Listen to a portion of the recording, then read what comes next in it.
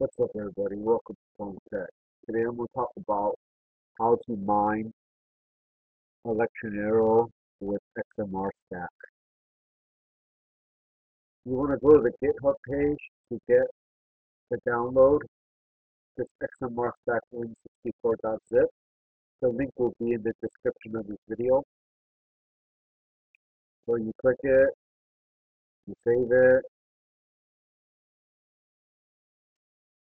and then you unzip it and once you unzip it you get this folder right here and it will have these files what you do then is double click this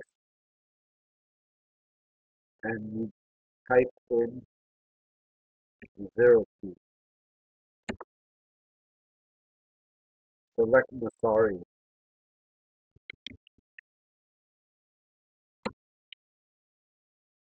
pool address, easy pool example. So for this pool address, use uspool.electronero.org with a port number that is for your hardware. For me, it's 6666.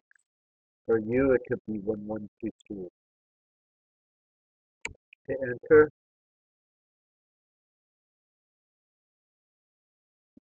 Use ETNX wallet address. Hit enter. Hit enter again. Hit enter again. Select N.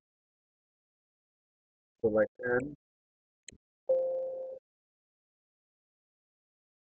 You can choose to use multiple pools if you want, but in this demonstration, that is not happening. And there we go.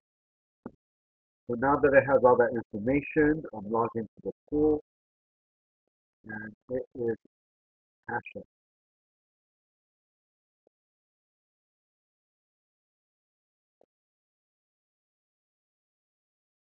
So there are keys that you can use. For instance, if you push the H key, you can see the hash So currently the system is running at 207 hash a second.